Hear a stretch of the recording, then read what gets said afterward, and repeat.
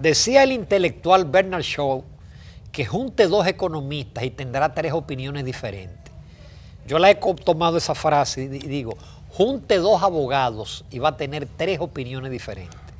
Si uno se lee la prensa, ve los noticiarios, desde la sentencia del tribunal, específicamente los cinco años de Marlene Martínez, usted ve brillantes abogados que te dicen que la sentencia está ajustada a la ley.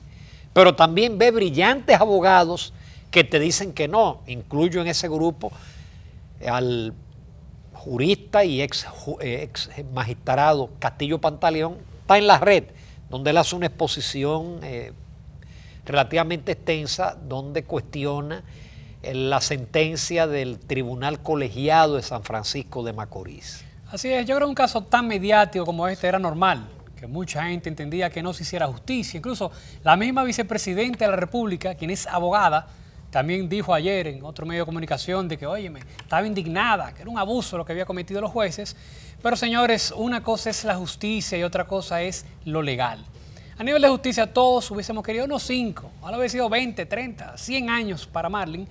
Pero cuando usted se va a las evidencias que dio el Ministerio Público, apenas daba para el usurpamiento de la menor y el ocultamiento del cadáver. Pena máxima 5 años que sin lugar a dudas en una apelación no me sorprendería que sea reducido a tres, que es lo que señalan las leyes. Entonces, la gran pregunta es, no es si el juez fue bueno o fue malo, ellos simplemente se suscribieron a lo que había y a cumplir la ley actual. Lo que sucede, señores, es que había un populismo judicial, había un palé que se jugaron, 30-20, y eso no se pudo cumplir. Y lógicamente, cuando un político opina, el político no va a opinar en contra de la mayoría. Es decir, todos se van a rasgar la vestidura con la sentencia. En el caso nuestro, yo por ejemplo nunca he, trabajado en, la comunicación buscando simpatías, ni buscando irme eh, del lado de la corriente de la mayoría. Yo opino lo que yo pienso, me equivoco muchísimo, pero yo estoy en esa línea, sí, yo siento que los jueces no encontraron evidencia suficiente como para catalogar de cómplice. Puede que lo haya sido, ¿eh? Yo no lo pongo en duda. Pero ella no estaba ahí. Mira, y lo más sencillo para el juez hubiera sido ah, complacer a las mayorías y dar los 20 años. Pero ella fue tan inteligente, en caso de haber sido cómplice, que ese día había una actividad del PRD, que estaba Miguel Vargas, Janet Camilo, y ella hizo acto de presencia y se hizo sentir. ella buscó por aquella coartada. Ella buscó lo que se llama su coartada, pero bueno, es una coartada limpia. Eh, yo siempre me refiero al caso de, de, Oye Simpson, aquel futbolista famoso, que mató a su exmujer y mató al novio de ella. Y ese tipo fue declarado, bueno, ya no declaran inocente, ya dicen no, guilty, no, culpable. Porque no hubo el pleno convencimiento. En el caso de los Estados Unidos es un jurado de gente que no son abogados, ¿eh? gente seleccionada al azar. Pero aquí mismo, señores, por el populismo judicial, el juez de Odebrecht, el juez especial, metió preso a todo el mundo. Aunque después reculó al poco tiempo diciendo que... Sí, pero cuando el caso fue entonces a la Suprema Corte de Justicia, eh, aquello fue diferente. Hay que ver la exposición que hizo la, jueza eh, Miriam Germán Brito, que inclusive le dio su recado al procurador. Le digo, preparen mejor el expediente, porque como están hechos estos expedientes, este caso se cae ante un juez. Porque una cosa que usted diga, sí, sí, ese tipo cogió cuarto de Brecht, pero, eso, hay que probarlo. Eso hay que probarlo con, movimiento financiero, con aumento de, su patrimonio, por diferentes vías, pero hay que probarlo. eso fue lo que pasó aquí con Marlon, lo que había una comunicación donde él dijo, resuelve eso al hijo, pero en ningún momento resuelve eso se puede interpretar necesariamente como ve y mátala. Entonces, si no hay evidencia, si no hay prueba, desafortunadamente no es que el juez sea bueno o sea serio, no. Simplemente se suscribieron a lo que había y al marco legal vigente. Ahora, a mí me dio risa ver a los congresistas, ahora, ay, que el Código Penal, pero ¿por qué no se aprueba el Código Penal? Saquen el tema del aborto. Con el Código Penal, por ejemplo, Marlon le hubieran cantado más de 30 años, porque hay acumulación de pena. Lo hubieran acusado de secuestro y de homicidio, de aborto. Es Obstrucción de la justicia. El tipo le cabían todas las... El mismo caso de, de, Marlin que le cabía, de, Mar, de Marlin, la mamá, le cabía una acumulación de pena. Para aquí no, aquí usted mata 10 y son 30 años. Usted mata a uno, Es lo mismo. son los mismos 30 años. Entonces, pero no queremos aprobar el Código Penal porque tenemos eh, el debate de las causales del aborto. Saquen el aborto y dejen esa discusión hasta el final de los días, pero aprueben ese Código Penal para que realmente podamos imponerle sanciones fuertes. Por ejemplo, el, el- el chakra, el chakra que se El llama. chamán chakra. El chamán chakra mató cuatro, tres niños y la muerte. El chamán chakra, 30 años. No importa que hubo violación. Nada, hubo todo. Pero si hubiera acumulación de pena, el tipo lo, lo- lo- lo condenan, una condena por violación, una condena por matar niños, una condena por matar a la mujer. Oye, no sale de la cárcel jamás. Vamos a aprobar el Código Penal. No, pero ya yo creo que ya hay suficiente incentivo ahora, por lo menos en el Congreso, de que eso se impulse. Bueno, Vamos a ver si se puede no- sacar una ley especial o otro artilugio legal, el tema del aborto y finalmente tener, oye, simplemente la acumulación de la pena, vale la pena que se apruebe el tema de- del Código Penal. Pero desafortunadamente la sociedad no se ha puesto de acuerdo y nunca se pondrá de acuerdo donde es la vida lo que está en juego. Así que ese debate en ninguna señores, parte la va a ganar. y Radamés Camacho salió de esa vaina. Me perdona la palabra, porque él cuando le preguntaron de la declaración jurada de dijo, esa vaina y cosas más importantes. Vaya usted a ver qué profundidad, qué brillantez de nuestro presidente de la Cámara de Diputados. Óyeme, brillante, brillante, un genio. Oye, pero lo que yo me pregunto, óyeme, millonario, tiene 70 millones de pesos en patrimonio. De- de- desde que él está en la Cámara de Diputados aumentó de 28 a 70. Óyeme, yo, te, yo, yo, yo trabajé 30 años en ingeniería y construí muchísimo. Y tengo ya en la comunicación casi 30. Óyeme, yo no tengo ni sombra de 70 millones de pesos.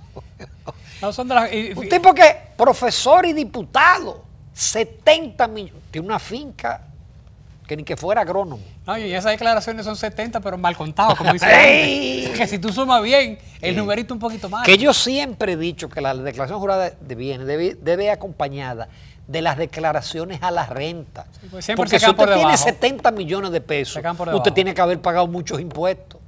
A que, no, a, que, a que el único impuesto que ha pagado es la retención que le hacen del salario. Pero por fin Camacho cumplió. Eh, todo eso es un reflejo de la falta institucional del país, porque hay 58 diputados que no han declarado. ¿Y cuántos No, funcionarios solamente hay? la- en total son 4 mil, entre alcaldes, regidores. Que no han declarado ni van a declarar. Porque, ¿para qué cumplir con la vaina esa si al final no le pasa nada? No la ley pasa dice que pueden ser sacados de sus cargos, pero ¿usted ha visto alguna vez un decreto sacando a una persona porque no cumplió con. O, o- o no le- eso? o no- no pagarle el sueldo. no Entonces, tiene nada no, que no ver. declaren ¿Pa esa, qué? esa vaina. sea, quiten eso. Señor, el tema de la atención primaria en el debate. Hay muchos problemas en el sector salud, pero también en el tema de las pensiones. Yo, lamento que, por ejemplo, esta discusión de la atención primaria olvide que tenemos que reformar la ley de la seguridad social y que hay que ponerle atención al tema de las primarias, digo, perdón, de las pensiones. Porque aquí va a haber gente que dentro de 30 años se va a pensionar con el 20% de su salario. El problema es que el tema de salud, eh, imagínate, ¿por, dónde agarrarlo? Pues tiene de Clip, se queja de mil y una cosas, comenzando por lo de la, comunicación. La clínica no quiere nada. Esa no quieren nada. Tú tienes entonces las ARS, que son los grandes Yo fui a una clínica en estos días que quitaron los televisores. Eso Oye, es- cuando usted está interno en una clínica, lo menos que usted necesita es ver un televisor. A esa clínica muy importante, un centro muy importante que está en la avenida. Independencia. Independencia. Casi esquina, ahí donde está la iglesia eh, de Padua, San Sí, Antonio San de Padua. Padua. Quitaron los televisores. Pero eso por un lado. Entonces las ARS, que son supuestamente los peores del negocio, solamente piensan en sus ingresos económicos, en detrimento de los Le quitan, le quitan el 10% a la farmacia. el tema de la farmacia, súmele entonces ahora la CISALRIL, que pretende que la atención primaria empiece en el segundo nivel. O sea, en el sistema contributivo, nosotros, los que pagamos, cuando la lógica sería, Claro. la lógica sería que empiece en el nivel subsidiado, o sea, en los hospitales públicos. ¿Sabes lo cómodo que sería, oíme, y lo que podría sacar presión a los especialistas en ese sector? No, y a Solamente con no, la primaria. y- y a los hospitales, porque la ventaja es que el gobierno ha construido decenas de centros de atención primaria y diagnóstico. ¿Qué pasa? Usted va a ir donde un médico general Exacto. y el médico general entonces si amerita, lo refiere a un especialista. Pero ¿qué pasa? Lo que pagamos seguro, si nos duele el estómago, vamos del gastroenterólogo. No, aquí tampoco hay cultura de ir a la atención primaria. No. O sea, yo viví fuera y tú te- lo que sea que tenía, usted va primero a la primaria y si aplica, va entonces al especialista. Entonces, lo lógico sería que empiece en el sector público. Añá- añádele que con una cita que toma muchísimo Ah, sí, tiempo. tú porque te sanes tú, tú- esperando. tú tuviste un problemita que tuvimos llevarte a un médico privado que nos costó más euros que el caray. No, uno, uno se están esperando. O sea, tú vas, tú vas a la atención primaria y te daban 5 o 6 horas de espera. O sea, que tú fácilmente en ese periodo, tú te sanas y sales, mira, normal. La atención primaria, inclusive al gobierno le conviene que comience con el sector subsidiado porque el gobierno va a ahorrar dinero con eso. Va a ahorrar dinero y va a vaciar un poco de pacientes, de, de- de- de- de gente que va a los hospitales. Aquí hay gente que te viene del interior, al, como dicen, a la angelita. Así es. Pero también está el tema entonces del Colegio Médico Dominicano y la huelga que ya están anunciando. Sí, sí. Que de las pocas veces que yo, que yo le doy la razón al Colegio Médico Dominicano. Pero que no se vayan a una huelga. No, porque ahí ya se afecta entonces los más, los más pobres, los más humildes. No esa gente del sector de los contributivos, porque ese va a su clínica privada y paga su dinero, sino esa gente, los infelices, los que no tienen otra opción que ir a un hospital público.